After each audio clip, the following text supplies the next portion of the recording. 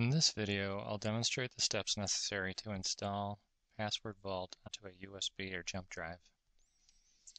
First, insert your jump drive into your computer.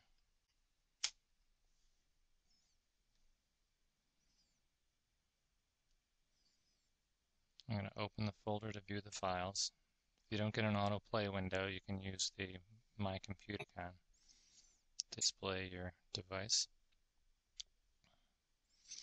I'm going to install Password Vault onto the top level directory of my drive. I'll leave this window open, and open another window using the My Computer icon. I'll navigate to My Documents and under Bayview Software Solutions, I'm going to select Password Vault version 3. I'll right mouse on that folder and say copy. I'm going to minimize this window, go to my jump drive root directory, and say paste. This will copy a version of Password Vault version 3 to my jump drive. What I'd like to do is put a shortcut here at the level.